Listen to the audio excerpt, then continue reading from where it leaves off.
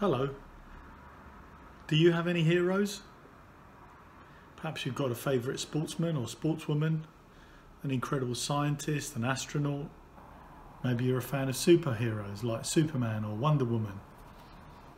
In their current circumstances, we're all looking at our health carers and our key workers and all the people in that chain as heroes. I have to say I always struggled having a hero myself. When I was young, perhaps the closest I came to is Glenn Hoddle. Spurs player of the 80s and 90s. He was he was an incredible player. Um, in my Christian walk, I really love the people that love Christ but kind of failed and made mistakes. Early in my walk, I kind of figured if if those people can be can be uh, forgiven after they failed, well, God for, will forgive me too. Maybe the only one that comes close as a hero though is Paul he uh, he spent a large part of his life persecuting Christians, but what God did with his life after his conversion is truly mind blowing. His faith, his energy, his consistency. He's someone we continue to learn from to this day, um, as others will into the future. Maybe we can look at what Paul wrote in Romans to try and understand what a Christian hero might look like. So Romans 15, 1 to 2 says, We who are strong ought to, ought to bear with the failings of the weak and not to please ourselves. Each of us should please our neighbours for their good, to build them up. Does this describe what a hero might really be? Someone who helps those in need, helps the weakness of others with their strength, contributes to the welfare of their neighbours.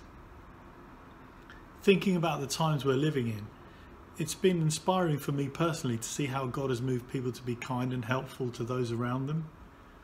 It may be in a phone call or by contributing to a food bank or making food for someone in isolation. These are all lovely to see, but, but is this what Paul is really speaking to us about? It's really important to help each other and our community in a practical way.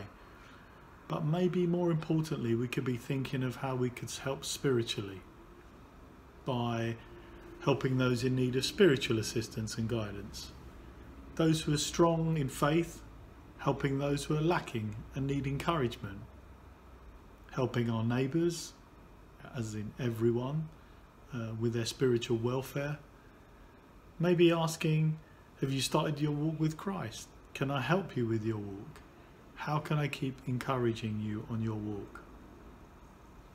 In the next part of the passage, Paul talks about Jesus.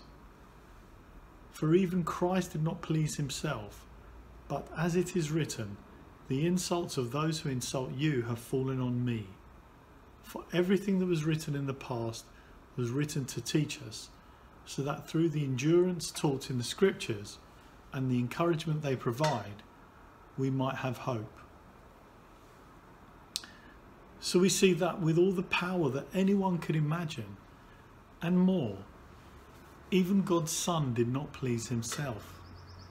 He takes the insults, but also he amazingly takes our sins with no thought for himself, dying on the cross so we can have a relationship with God. How can we be more Christ, a lot more like Christ? Well, here's a final thought. In these troubled times, there's an amazing encouragement to be taken from each other.